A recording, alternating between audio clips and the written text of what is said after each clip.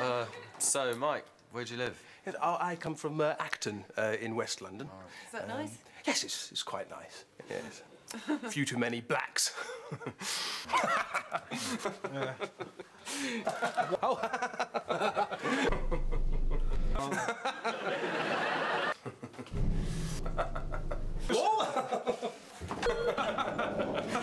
Excellent.